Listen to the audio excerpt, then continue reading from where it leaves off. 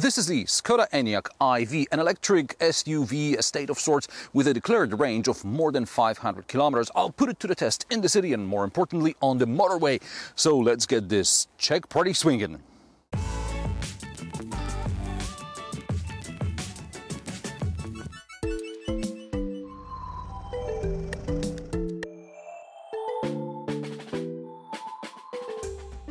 IV in the Enyaq is an acronym Skoda adds to its PHEVs as well as EVs. Apparently it stands for Intelligent or Innovative Vehicle. The Enyaq is Skoda's first EV built on the new VW Group MEB platform designed specifically with EVs in mind. Before we go for a test drive, let's talk size and practicality. The Skoda Enyaq is slightly larger than the Mazda CX-5 or the VW ID4, but also slightly smaller than the Skoda Kodiaq or the Mitsubishi Outlander. The Enyaq's closest rival is the Hyundai Ioniq 5. Beauty is in the eye of the beholder. I'm not a fan of VW ID or Skoda Enyaq design, but I understand the designers focused on aerodynamics and making the best use of internal space rather than making the cars look particularly interesting. As far as I'm concerned, points for the looks go to the Ioniq 5. However, Volkswagen and Skoda don't make silly mistakes like placing the reversing camera exactly in the place where you would expect to find the boot release button. Hyundai. By the way, you can also open the boot with gesture, which may or may not work today because we've been doing several takes and um, the car said no more. But anyway, theoretically you could, and that's despite this car having a tow hitch, an option, of course but it does have a tow hitch and you can tow up to one ton in the rear-wheel drive version or up to 1.2 tons in the all-wheel drive version. In the tailgate, you will find an ice scraper, which usually lives under the fuel filler door in the internal combustion engine Skodas.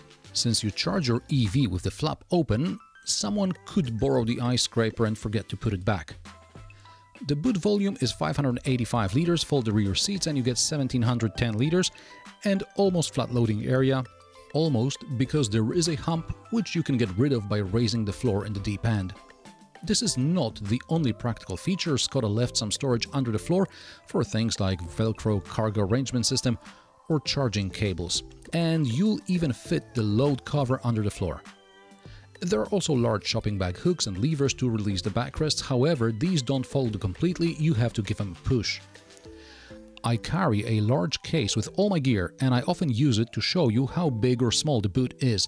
I have a feeling the Skoda designers watched film crews and they decided this is the size they're aiming for. Well, it fits even on its side, so I could probably get 4 or 5 of these in here. For this bigger car, I would expect a bit more space, maybe like in the Hyundai Ioniq. This is adequate for this size of a car. There are large door pockets, cup holders, which are not large, but there are some. There is a ski hatch, and here we have AC, third zone climate control, heated seats, USB-C ports and a 230 volt socket and all of these things are optional, obviously. And like in the ID4, also here the designers tried their best to mask the thick floor. As a result, the doors cover the sills but only partially, because at the bottom there is more plastic cladding exposed to the elements. Also in the front, you can feel something's not right. At 161 centimeters, the Enyaq is about as high as the BMW X4, so you expect getting in like in an SUV, but you end up sitting like in a sedan or hatchback. You will get used to it eventually, but it's something I often encounter in EVs. The driver gets a very modest display. Skoda decided to incorporate it in the dash rather than keeping it on the steering column like in VW ID cars. But the data displayed is the same, speed, driver aids and sat-nav. More information is on the huge 13-inch central display. The first time I sat in the Enyaq, I was overwhelmed with how big this tablet is. I would prefer to have more information and a slightly larger display in front of the driver and have a smaller display here, but okay. This is largely the same infotainment system as in the ID models with several updates, so it's less user unfriendly, I would say, or maybe I just gave up and started getting used to new VW infotainment. By the way, one of the updates happened while I was on the go. I stopped at the lights and both screens went out and the system rebooted. How do I know it was an update? After the system rebooted, the phone icon moved here from here to here and here we now have the heated steering wheel icon, something that wasn't available before. In order to find out whether the heated steering wheel is on or off, besides touching it, of course, you would have to go into the climate control menu and there you would have the icon with three stages. So now you know because it's also here. So even if you're not in the climate control menu, here it is. Under the display are the air vents which blow air into your elbow. Below are some physical buttons which should be higher. At the bottom of the center console is the phone cubby with USB-C ports and an optional wireless charger. Then there are adjustable cup holders on the small side and no longer simply clever open my bottle with one hand type. On the center tunnel there is also another cubby, maybe for your glasses, and a tiny gear selector without park mode. In order to go into park, you have to pull the electric parking brake toggle or turn the car off with the stop-start button on the steering column. The armrest storage, as well as the glove box, are generous size, door pockets are deep and lined with soft material. Like in the ID models, also the Enyaq turns on as soon as you get in the car with the key. I don't think I need to convince anyone that EVs get good range around the town. If you're careful, you'll get maybe 600 kilometers out of the Enyaq 80 in the urban cycle. That means using around 13 kilowatt hours per 100 kilometers. Things get a bit more complicated when you decide to go somewhere on the motorway and there is not as much opportunity to use regenerative braking and you have to deal with increasing drag. Now, the following experience is my experience in Poland in late 2021.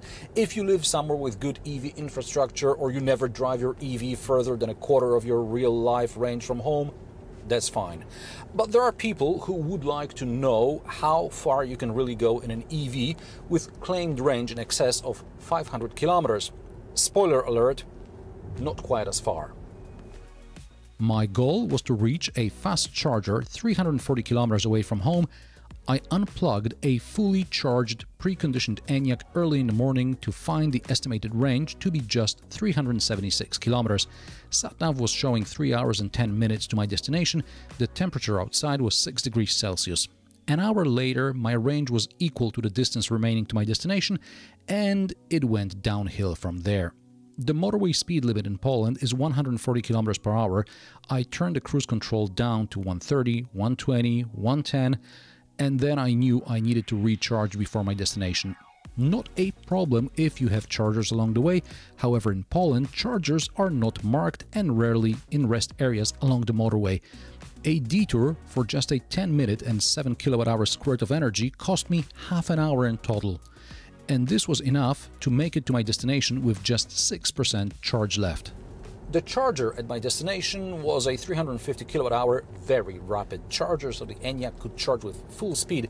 Depending on the battery size and spec, the Enyaq can charge at 50, 100, or 125 kilowatts. And guess what? 50 is standard, and you have to pay extra to get the 100 or 125 kilowatt charging. Simply clever, no?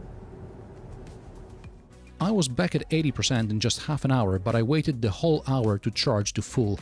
I then drove around the city of Poznań for half a day, with the range increasing, so I thought it could be possible to return to Warsaw without recharging along the way. I would just have to drive slowly. Unfortunately, on the way back, there was strong headwind, and after about 100 kilometers, I knew I will not make it to my home safely, regardless of the speed. So I had to make a charging detour 130 kilometers away from home. And yes, next to my measly 90 kilowatt CCS charger was a bunch of Tesla superchargers, and I don't like Tesla. I think Tesla cars are badly made appliances, but I have to hand it to Elon Musk providing and controlling the charging infrastructure makes the customers turn a blind eye to everything else about Tesla. I wasted another hour or so because I had to wait for an ID3 to finish charging. The total trip time both ways was around 9 hours instead of 7. On the motorway, you can assume the Enyaq will do half the claimed range. Along the way, beside the crazy fast range drop, I also noticed the voice assistant Laura wakes up every time I say OK something, rather than specifically OK Laura. It is possible to turn the voice activation off. On the plus side, despite Android Auto navigation running, Skoda SatNav was running in the background and warning me of congestion and detours ahead. Another positive is good soundproofing. Just remember, acoustic glass is also optional. And also optional is the driver aids package with travel assist. And travel assist in this car had a bad couple of days and it would just flash errors every now and then. But regardless of that problem, I get the feeling Skoda was ordered to dumb down the active lane assist feature to stay like below VW. The Enyaq barely kept in its lane on its own and the warning chimed too often. And I understand this is not a fully autonomous car, but Octavia and Superb have better travel assist. Or, I don't know, maybe it was the wind and the Enyaq, well, it weighs well over two tons, so there's a lot to deal with here. At least the Enyaq is comfortable, and that's even on the optional 21-inch rims. I'd skip the adaptive suspension and drive modes, at least DCC doesn't knock like in most VW Group cars. The Skoda Enyaq iV80 has 204 horsepower and rear-wheel drive, claimed 0 to 100 km per hour time is 8.7 seconds, all-wheel drive adds 60 horsepower and shaves more than a second off the 0 to 100 km per hour time. I checked and my rear-wheel drive 80 was able to do 0 to 100 km per hour in 8.4 seconds in normal mode. Strangely, in sport mode, it took 8.9 seconds. The Enyaq is also very maneuverable, the turning circle is just about 10 meters, just like in the Skoda Fabia. It's a shame the 360 camera is an option even on such an advanced car. And the Enyaq is not cheap. Add a few options and you're in the 50s. Sure, you can get a base spec, but having to pay for 125 kilowatt charging is below the belt.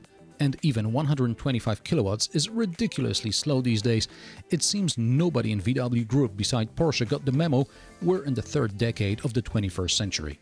Price of the Skoda Enyaq start at 33,800 euro for the 50 model with up to 362 km range. The Enyaq 60 with 412 kilometers range starts at 38,850 and the Enyaq 80 with 534 kilometers range starts at 43,950. The Enyaq 80X all-wheel drive with 496 kilometers range starts at 47,000. This test Skoda Enyaq iV80 with options costs around 56,000 euro and that still leaves many option boxes unticked. The Skoda Enyaq iV is, in my opinion, the best electric VW currently on the market. It's not cheap, but with incentives and access to charging infrastructure, this could be your next EV. And how do you like the Skoda Enyaq? Let me know in the comment section below. If you like my sarcastic, down-to-earth and possibly mildly amusing car reviews, join me every Friday at 3 pm Central European Time and don't forget to subscribe and like this video as it helps me with the YouTube algorithm. Thanks for watching and I will see you in the next one.